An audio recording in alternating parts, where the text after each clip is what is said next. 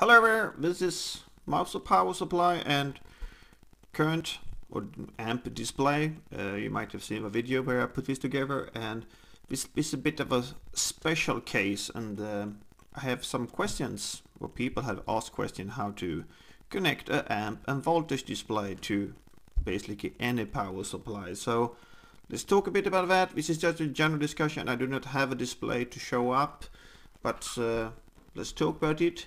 Uh, now we're talking about we have a bunch of these from China. Is like a display and only double which volt and amps and you have your little numbers in some order.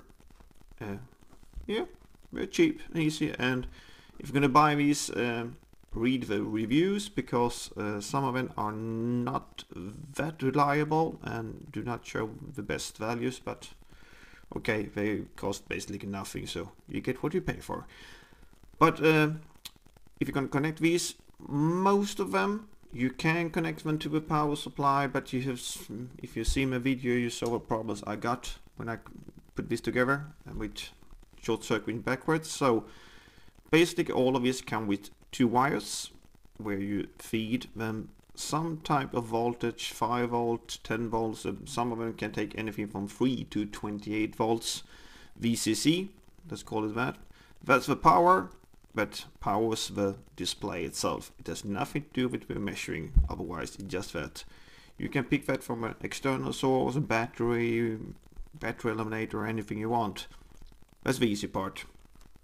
Now it comes a bit more complicated and this is just general information, check your manual for your meter, which colors wires are and so on, but this is a bit how it, most of them are connected, what I can find.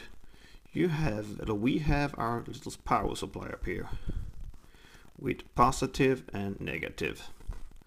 And if you check on your current meter, normally it's a thick black wire. Why it's thick, we're going to get back to later and that's you're going to connect to the minus. So that's the black one. It's a thick wire. Uh, the positive for your power supply is going to out and it's going to your load. Whatever that is if it's a lamp or whatever you're connecting over here. That's also all the current flowing. And then uh, you have another wire and that's on the ones I have looked up a red one. So you see I connect the red one to the negative side of the load here. So it means I'm measuring current on the negative side of the load.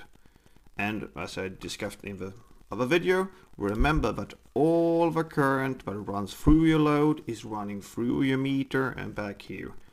I might say that there are also some meters with external shunt resistor I'm not talking about those right now because if you have that you have really high currents and if you don't know what you're doing you're gonna burn something. So now we have a current measuring setup. The current is flowing here through your load, through your meter and back to the power supply and out again. And then you have one more wire, wire sorry, uh, that's the voltage sensing wire. And it goes from here up to here. And the versions I've seen it's normally yellow or green. And it it might be a thick wire because some of the manufacturers are just using the same wires for these but it might also be a thin wire because there's no current here flowing here. It's only voltage measuring.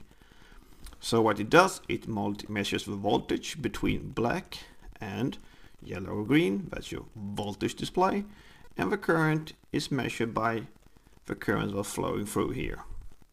So check the specs on your current meter and if you are uh, want to be do not want to destroy a current meter you might want to put in a fuse somewhere to protect your current meter so don't blow it or and protect your load of course so I hope this is helpful for some of you out there and fill up the comment section with uh, your experience and mistakes. Have fun!